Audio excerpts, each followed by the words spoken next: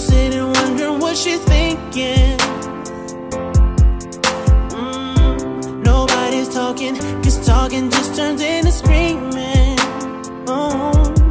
And now it's some yelling over her, she yelling over me. All that that means is neither of us is listening. And what's even worse is we don't even remember why we're fighting. So both of us are.